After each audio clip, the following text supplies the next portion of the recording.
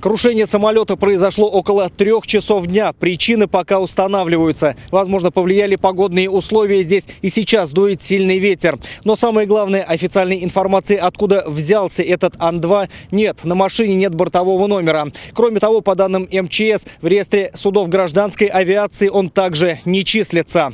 Пока известно только то, что самолет выполнял авиационно-химические работы. Поле, на котором обнаружили разбившуюся машину, принадлежит компании, которая выращивает сельскохозяйственные культуры. По всей видимости, именно она заключила договор на обработку полей. С кем именно, пока неизвестно.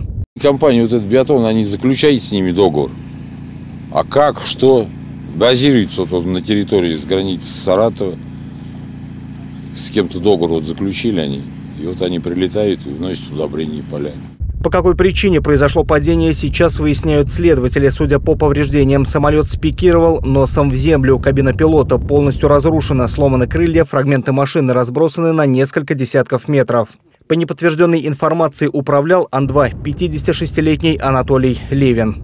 Предварительно установлено, что пилот жителем Самарской области не является. Документы на право управления воздушным судном, свидетельство пилота – не имеется. В настоящий момент э, следственные органы как раз проводят работу по выяснению обстоятельств, на каком основании данный самолет проводил работу в Пестравском районе.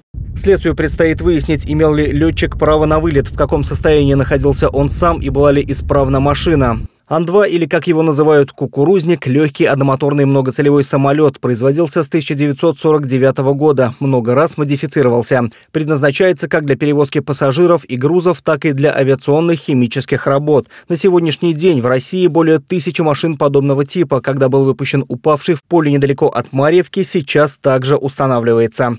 Павел Баймаков, Алексей Золотенков. События.